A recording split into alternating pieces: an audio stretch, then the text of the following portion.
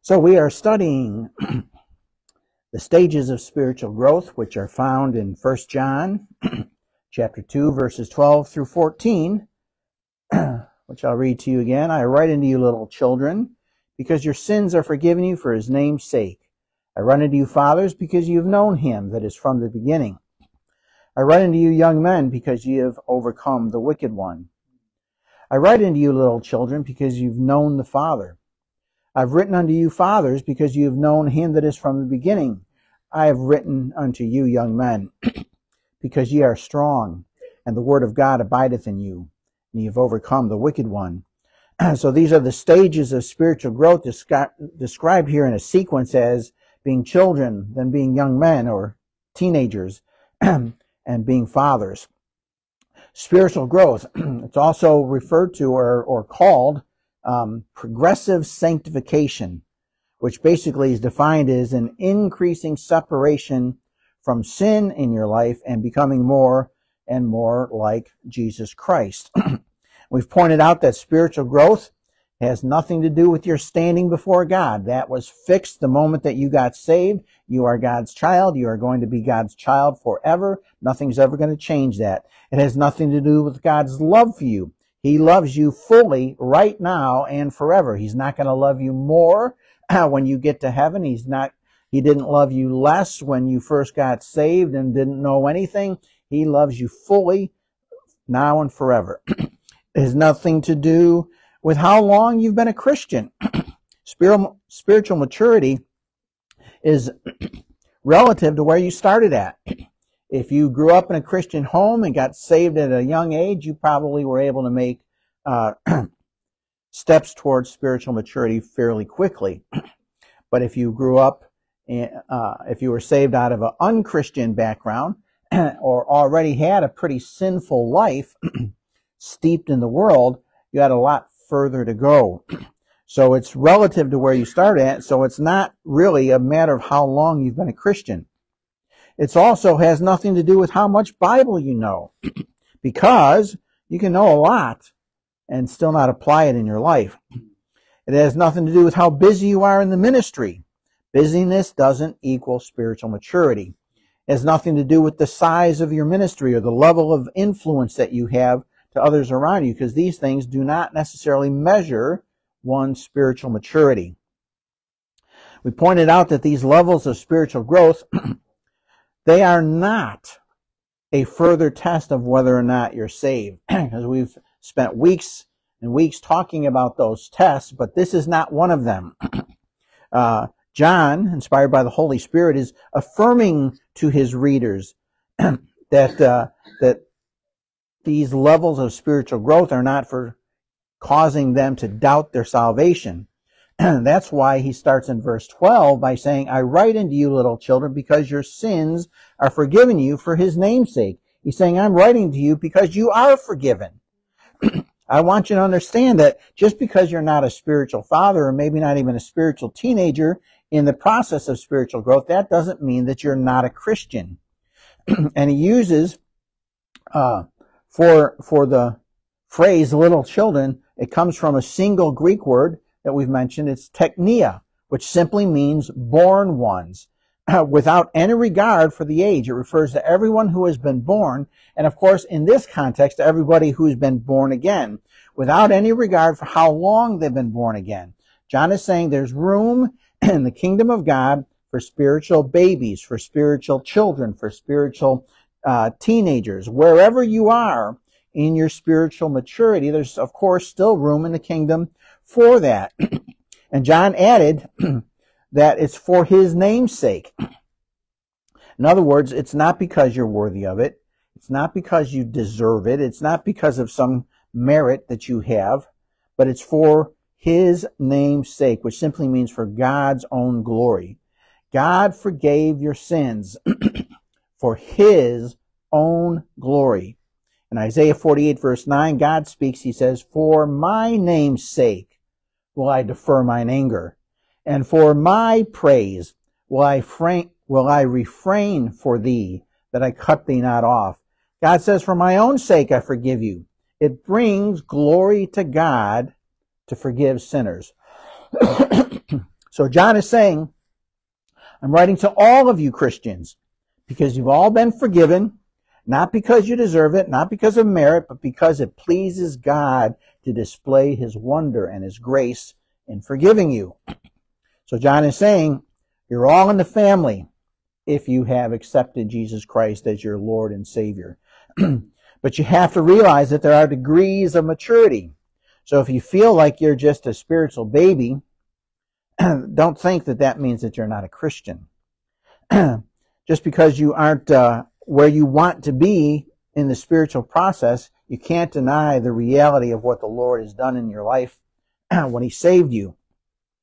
So John is not talking about perfection here. He's talking about direction. He's talking about making progress in your spiritual life. so again, verses 13 and 14, he says, I write unto you fathers because you've known him that is from the beginning. I write unto you young men because you have overcome the wicked one. I write unto you little children because ye have known the Father. I have written to you, written unto you fathers because you have known him that is from the beginning. I have written unto you young men because ye are strong. and the word of God abideth in you, and you've overcome the wicked one. So typical of John, there's a lot of repetition there. And John is simply wanting to make that emphasis crystal clear. He's simply saying, I want you to understand this, so I'm going to repeat it.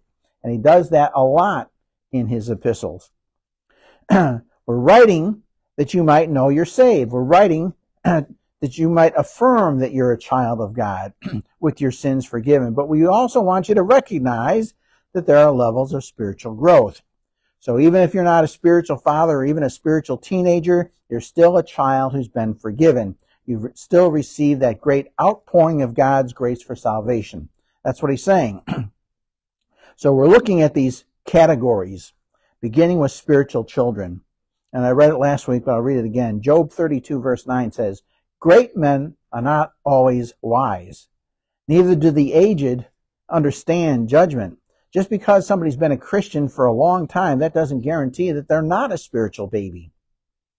All spiritual children are supposed to grow up to, as the Bible puts it, the stature of the fullness of Christ, and they should grow in grace and in knowledge of our Lord and Savior Jesus Christ. That's from 2 Peter 3.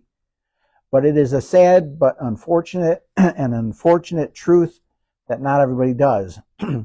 there are Christians who have stayed immature for years and years and years and years because they won't do, they don't do what is necessary to grow in knowledge and uh, in an understanding. And simply that means regular, consistent study of the Word of God, being in church, being under the sound of the gospel, being preached, being taught, and it's not a part of their life, and it's reflected in their level of maturity. The end of verse 13, John says, I write unto you little children because ye have known the Father. And again, that's not the same as what he said in verse 12. verse 12, he referred to little children, meaning everybody. Um, verse 13 is different. in verse 13, he replaces that word teknia for little children with the word paideia. And paideia means a little child, a little boy. It can even be used of uh, infants, a little girl. so it refers to somebody who is still under parental instruction. because the primary characteristic of the paideia in, the, in this context is ignorance. It's referring to a lack of maturity. Paideia simply refers to a child who needs to be trained, who needs to be taught, who needs to be instructed. That's why teachers of children were called pedagogos, referring to those who teach children. so, what does a spiritual child really know? spiritual child knows God, the basic knowledge about their new relationship with Christ. Unfortunately, sometimes not their new relationship. Maybe it's been going on for a long time, but the distinguishing act of a babe in Christ is to acknowledge God is their Father and Christ is their Lord. And they express their delight in this relationship. It is the joy of their life just to be saved, just to know they're saved. uh, Uh, in Romans 8:15, Galatians 4:6, we see uh, the term being used Abba Father, which means daddy. And even in natural life, the first thing that happens in a baby's life is um, relationally is that parental recognition. The first words they say are mama, dada. Uh, that's what they first learn. So little children tend to be regulated by their affections much more than knowledge. They're more affected by their emotions, by their feelings, uh, than they ever are by information. little children pretty much, they don't analyze you. They just love you if you're their parent. they find their security in you. Uh, and that's how it is with spiritual babies. There's a certain thrill in their new life. It's the joy of their salvation. They have a great joy from knowing God is their Father, from knowing that Christ is their Savior, from knowing that God loves them, that He's their protector. He cares for them. He meets their needs. He's given them an eternal home in heaven. He's provided everything they need, and there's great joy from that, but not a whole lot more. Not a whole lot of knowledge. They take great joy in that simple, simple knowledge, and that's of course a good thing. Would to God that we never lost that, that we don't lose that. but that's where it all starts. it's not really about having a whole lot of information. It's not about theology, really. It's about the relationship. Spiritual babies, they're all about the relationship, much more than they are about doctrine. That's why in 1 Corinthians chapter 3, Paul told the Corinthians, look, here's how I know that you're a bunch of spiritual babies, because you're saying, I'm of Paul and I'm of Apollos. See, spiritual babies tend to attach to their heroes. That's typical of babies. but Ephesians chapter 4 and verse 14 gives us a serious warning uh, to spiritual babies. It says that we henceforth be no more children, tossed to and fro, carried about with every wind of doctrine by the sleight of men and cunning craftiness, whereby they lie in wait to deceive. So they can be easily deceived. they need to be cautious regarding that problem. That's the thing about children. They're affectionate. They're drawn to relationships, but they really have no discernment. That's why you taught your kids don't talk to strangers. They're easily deceived. They don't have any discernment. they tend to believe anything. Jamie has said to me before, she said, God surely watched over me when I was a kid because I would have been the first kid climbing into the back of the van to go help this man look for his lost puppy. uh, so discernment, you don't find it in children. Children are vulnerable. And we applaud the fact that they look at the world through rose colored glasses. That's part of being a child. And they have this certain happiness, this joy that goes along with ignorance and with the lack of experience. And the world will teach them out of that soon enough. But we also fear for them because of that vulnerable vulnerability. They lack wisdom. They lack discernment. They live in danger of being led seriously astray. As I said last week, cults prey on spiritual babies. Mm-hmm. False prophets make their living off of spiritual babies.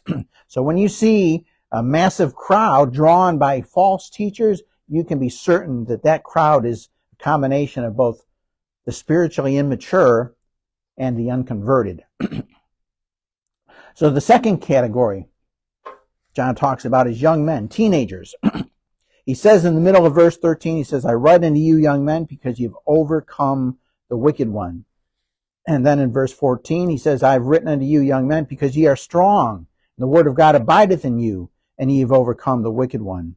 So infants rejoice in the relationship they have with the Father. But this second level of spiritual growth, it's really important because it goes from being focused on the relationship to being focused on knowledge, of learning the theology of what God has done both for you, what He is doing, who He is, what's going on in this world. so it goes from the attachment, which is this emotional tie, the attachment that is a matter of affection, to doctrinal issues. Uh, and it's really a beautiful analogy. He says, I write unto you young men and you spiritual teenagers, because ye have overcome the wicked one. and that's a really important statement. You've overcome the wicked one. How did you do that? Well, verse 14 says, because ye are strong. Well, how did you get strong? Because the word of God abideth in you. That's how you overcome the wicked one. You get strong by the word of God abiding in you, and it abides in you by studying it and studying it and studying it and filling your heart and filling your mind with the word of God on a continuing basis. what is the characteristic of a spiritual young man, of a spiritual teenager? it's somebody who knows the word of God. the word of God abides in them. They know what the Bible teaches. They're equipped with spiritual knowledge. The chief characteristic of spiritual children is ignorance, but the chief characteristic of spiritual teenagers is knowledge. they know doctrine. The word of God abides in them. and as Proverbs 20:29 puts it, the glory of young, the glory of young men is their strength. So a baby is is self-absorbed with with new feelings and their needs and their problems and everything is about them. Everything is personal. But a young man, a young woman spiritually has outgrown that and looks to find the greater truth, the greater understanding. And I want you to look at one of David's Psalms. It's Psalm 131. It's short, it's only three verses, but it really sheds some light on, on this movement to being spiritual teenagers. David describes himself after having grown from being a child to a young man. Psalm 131, it says, Lord, my heart is not haughty, nor my eyes lofty. Neither do I exercise myself in great matters or in things too high for me. Surely I have behaved and quieted myself as a child that is weaned of his mother. My soul is even as a weaned child. Let Israel hope in the Lord from henceforth and forever. Here's David in great humility recognizing that it's not all about him anymore that his understanding has grown. It's not all about me. His focus is no longer on himself or on his own desires. Now he's learned to want what the Lord wants. he says, let Israel hope in the Lord from henceforth and forever. So his focus has changed.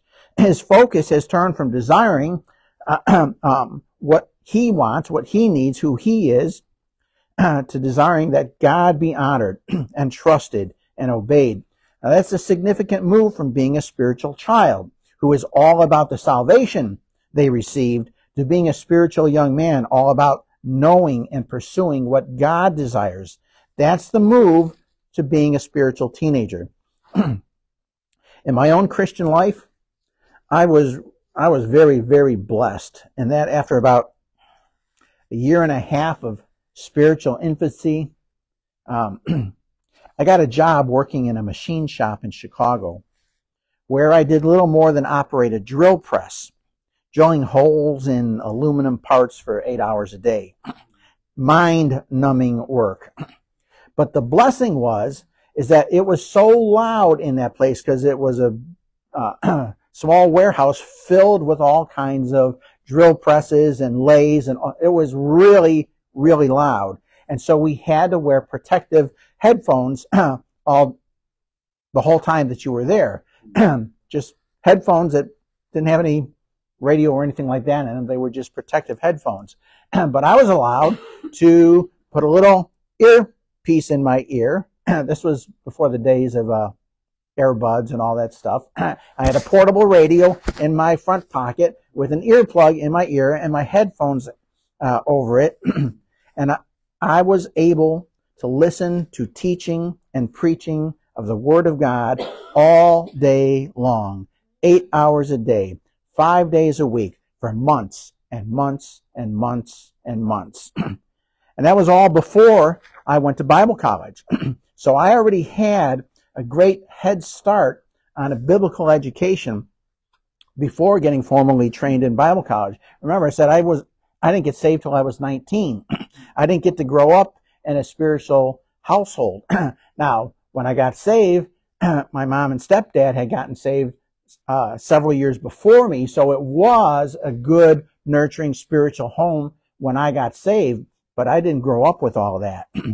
so I was then a young man, both physically and spiritually, because I got that opportunity to fill my mind with teaching and preaching of the Word of God for hours and hours and hours a day, day after day after day after day. I mean, I got the equivalent of probably 20 years worth of sermons up from just, uh, uh, if you, all you got was what you got when you went to church in the space of a year.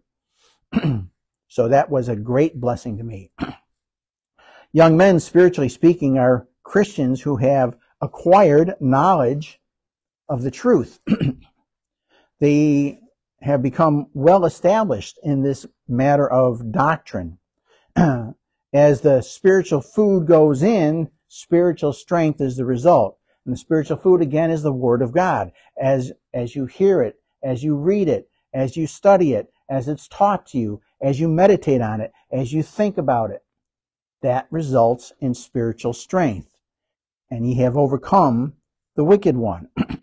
you know, it's interesting that that verse in the Greek, it's in the perfect tense, which refers to an event that has already happened in the past, but has continuing results. John is saying, you have already conquered Satan. And that's an amazing statement. Already conquered Satan. What's that mean? How could that be? well, you just have to understand where Satan really spends his time, where he operates in this world. Second Corinthians chapter 11, verses 13 to 15, it says that Satan is disguised as an angel of what? An angel of light. An angel of light. See, Satan himself, he's not the one running around making people sin. People sin because of the flesh. Satan spends his time involved in the false religious systems of this world. 99.9% of Satan's activity has to do with false doctrine, false religions, false beliefs. He's a liar. He's a deceiver. He works in the false systems, the false ideologies of this world. So don't blame Satan for your sin. I know Flip Wilson said the devil made me do it. He didn't need to make you do anything. Your flesh took care of that just fine without him. You don't sin because Satan goes after you personally. Now, there are, of course, his minions, his demons in this world, and they do follow you around. And you have a, probably at least one of them assigned to you as a believer to mess with your life. But Satan's not walking around behind you. People sin because lust conceives in their heart. You know the verses in James chapter 1, verses 14 and 15 says, But every man is tempted when he is drawn away of his own lust and enticed. Then when lust hath conceived, it bringeth forth sin. so we sin because of the lust of our flesh, because we walk in the flesh. Galatians chapter 5 verses 19 to 21 tells us the works of the flesh are manifest, which are these adultery, fornication, uncleanness, lasciviousness, idolatry, witchcraft, hatred, variance, emulations, wrath, strife, seditions, heresies, envyings, murders, drunkenness, revelings, and such like those are all works of the flesh. It doesn't say these are the things that the devil is trying to get you to do. These are the works of our own flesh. Mm. Psalm 106 verses 36 and 37 says, And they served their idols, which were a snare unto them. Yea, they sacrificed their sons and their daughters unto devils. False religion is demonic. 1 Corinthians t- chapter 10 verse 20 says, but I say that the things with the, which the Gentiles sacrifice, they sacrifice to devils and not to God. False religion comes from the devil. Satan is disguised as an angel of light. That's what he does. Even in chapter 4 of 1 John, we find that you can test the spirits, whether they're from God, by whether the spirit confesses Jesus Christ has come in the flesh. Verse 3 says, And every spirit that confesses not that Jesus Christ is come in the flesh is not of God, and this is the spirit of Antichrist. So Satan is that Antichrist. Satan is the one who proclaims the lies. 1 Timothy chapter 4 verse 1 says, Now the Spirit speaketh expressly, that in the latter times some shall depart from the faith, giving heed to seducing spirits and doctrines of devils So false religion, the false religions of the world, they contain the doctrines of devils, the doctrines of demons. And so if you understand that, then you understand what a spiritual young man is, what a spiritual teenager is, and how a spiritual teenager has overcome the wicked one. Because if you know sound doctrine, then you've overcome the wicked one. and you know, it's, it's wonderful to see spiritual teenagers, people who have come to the point in their Christian life whose doctrine is sound. They're not constantly blown around by, I just heard this the other day. Is that true? Is I just heard this the other, and, and maybe I should be going to that church over there. They, they seem to have a whole lot more, uh, uh, um, of the Holy Spirit there, various things like that. when you have reached the stage of being a spiritual teenager, the cults no longer attract you. False doctrine doesn't lure you. You're not easily deceived. In fact, generally speaking, when you reach the stage of being a spiritual teenager, you get angry with a lot of that stuff. you want to fight it. And uh, and I it's good to see that when somebody arrives at that point in their spiritual development, they want to do battle with the cults. They want to straighten out the the JWs, the Jehovah Witnesses. They want to correct the liberals. and I still confess I've got some of that in, in me from the time of being a spiritual teenager. it angers me still. Uh, false doctrine and lies and people standing behind pulpits telling lies. it angers me. uh, I'm not going to be led astray by false doctrine. I'm not going to be deceived. Why? Because I am strong in the Word. I know what the Word of God teaches. and in that sense, Satan cannot deceive me. Now, I know it sounds like it, but that's not boasting. That's simply the result of studying the Bible for decades. I no longer have to wonder uh, whether or not Jesus was born of a virgin whether or not he lived a perfect sinless life. I don't have to wonder about whether or not my salvation is forever or can I lose it. I'm not deceived by those things any longer because in decades of studying the Word of God, I know what I know. so if Satan comes along and says, Jesus is not God, I don't care how good his argument is, I ain't going to buy it. if Satan comes along and says, you know, God's not a Trinity, I don't care what, what argument he makes. I'm not going to buy that. I don't care how clever the speaker may be if it's a lie, if it's a uh, false lie. I don't buy it. Somebody comes along and says that Jesus was a sinner on the cross and, and he went to hell for three days to suffer for his sin. I don't believe that. Somebody comes and says the Bible's not the inspired word of God. It's not inerrant. I don't believe it. I don't care what kind of argument that person puts forth. It's not a matter that I don't believe it because I've just, this is where I stand, and this is the, decision that I've made, and this is, no, I don't believe it because I know the truth. These are things that I have studied. I'm not going to buy into people's proposition that um, the Word of God is not trustworthy. In fact, if people tell me that I shouldn't use the King James Bible any longer because it's outdated or it's too hard to understand, I don't buy that either. I want to park here for a few minutes, which I can't because we're out of time, so it'll have to be next week. but this is a real issue, even with good and godly Christians. and what I learned a long time ago, which doesn't seem to get taught very often any longer, is that there is a huge difference between the underlying text, the Greek text of the King James Bible, and all the other English versions. Huge difference. So we're going to have to pick that up next week. So let's have a word of prayer and we'll